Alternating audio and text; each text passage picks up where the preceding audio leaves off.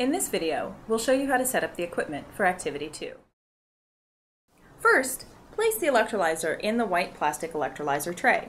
This will stabilize the electrolyzer and will catch any potassium hydroxide were it to leak from the electrolyzer.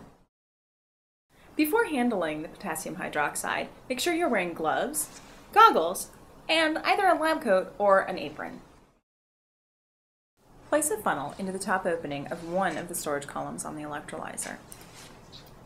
Slowly and carefully pour potassium hydroxide into the funnel. As you pour the potassium hydroxide, it will begin to fill up both of the storage columns and the reservoir. Continue to pour until you have filled to the zero mark on the storage columns.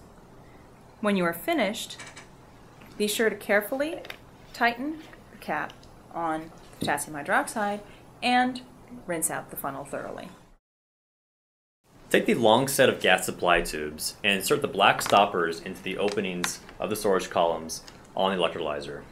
Make sure that both of the white plastic valves at the end of the tubes are both in the open position, which is when the lever is parallel to the tube.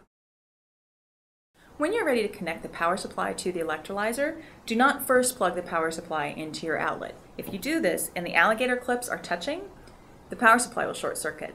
Instead, First attach the red alligator clip to the red electrode on the electrolyzer, then attach the black alligator clip on the black electrode.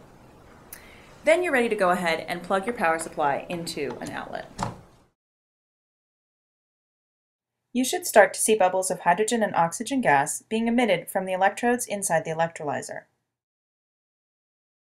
After the electrolyzer has run for about a minute, the air that was in the storage columns and the supply tubes should be mostly purged.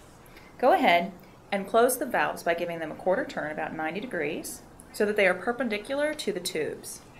This will allow the oxygen and hydrogen gases to accumulate in the storage columns of the electrolyzer.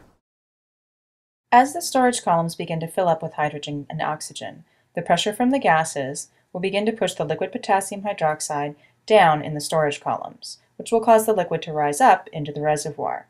This will allow you to measure the changes in the volume of hydrogen and oxygen gas that are stored in the storage columns. Run the electrolyzer until the hydrogen storage column is filled with 15 to 16 milliliters of hydrogen gas. While students are waiting, have them complete Student Sheet 2.1, where they label the parts of the electrolyzer. In the next video, we'll show you how to identify the gases and verify which column contains hydrogen and which contains oxygen.